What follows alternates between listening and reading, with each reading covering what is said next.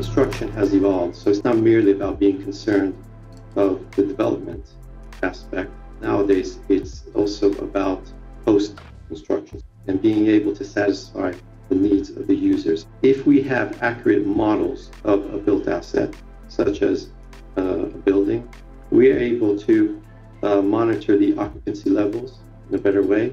We're able to uh, determine the pathways that people should go through within the building and so on.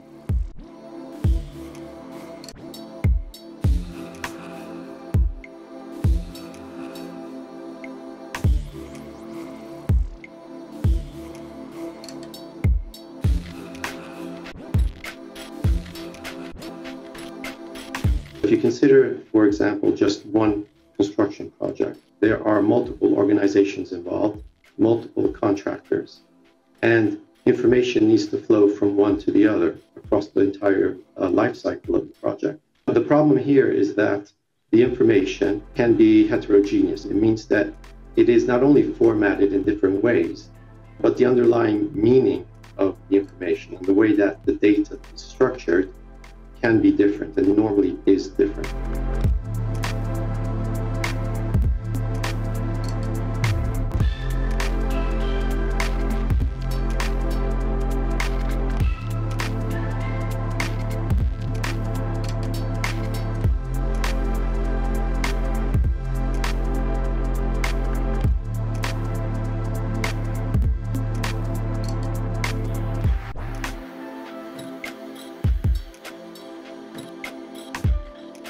As a consequence, these models become closer in terms of meaning with one another. And in this point, we can integrate the models, the data, and the systems more